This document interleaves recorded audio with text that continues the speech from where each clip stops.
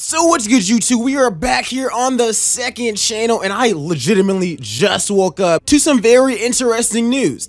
So if you guys enjoyed this channel and want to see more content, make sure to go ahead and drop a like and go ahead and subscribe. We're going to be continuing the daily uploads tomorrow talking about another NBA team. But I did want to get this video out because, I mean, I did make a video a few months ago talking about the Brooklyn Nets and how good I think this team can actually be. And since then, I think that this team has gotten even more dangerous for the future. Starting off with signing Steve Nash, to me, was a massive W nonetheless. I think that, that was such a really, really good signing. And then it was just announced that this morning, they're going to be bringing in Steve Nash's old coach when he was the MVP type Steve Nash. Mike D'Antoni will be joining his staff as a assistant coach.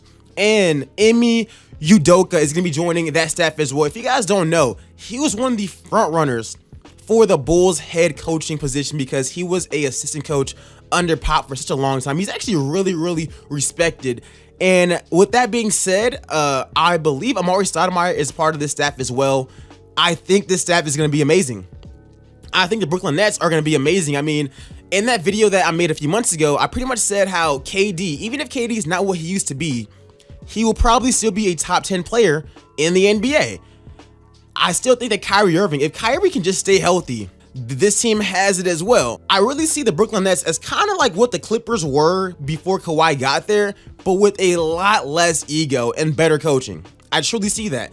Even though Steve Nash is a first-time head coach, him him having respected assistant coaches like D'Antoni and like Udoka is really going to help him out. Not to mention I really think that Steve Nash is set up the same way Steve Kerr was whenever he went to the Warriors. I mean, Steve Nash is really there to manage personalities. Kyrie Irving and KD especially have a really high basketball IQ. Surrounding that with Caris LeVert, Dinwiddie, DeAndre Jordan, who is a veteran, and Jarrett Allen, and hell, Taurean Prince.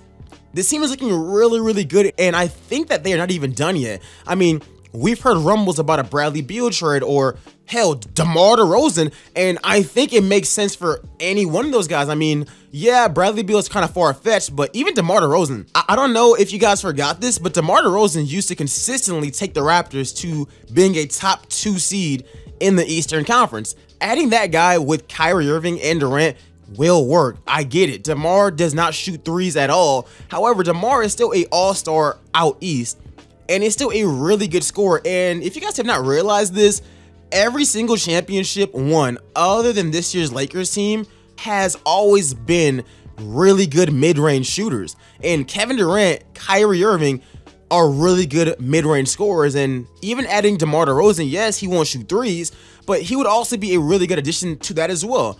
Look at the Raptors. Look at the Warriors. Look at almost every championship team the past like 15 years. They have all been really good in the mid-range. Of course, the Warriors were also good at shooting threes as well, but that mid-range saved them a bunch of times. Regardless, guys, this is big news. I, I, think the Brooklyn Nets have, they possibly have one of the best coaching staffs in the entire league, if not the best. I mean, in my rankings, I believe I had them at like number three in the power rankings as far as like the East goes, but hey, man, I, I think it's going to be close, but I think that once the playoff starts, this team has so much experience so much perspective from like the coaches and the players that they could be a massive problem. And once again, even if Kevin Durant isn't a top three player, I still think that he will be a top 10 player. And, and having a guy like Kyrie Irving, if Kyrie can just stay healthy, this team is going to go far and possibly win the championship. They got a really stacked team and, and a team that actually fits well together with veteran guys and hoopers. This could be a dangerous team, guys. Let me know what you guys think in the comment section below. Make sure you go ahead and like, comment, and subscribe. This is a quick little news video. More videos dropping tomorrow.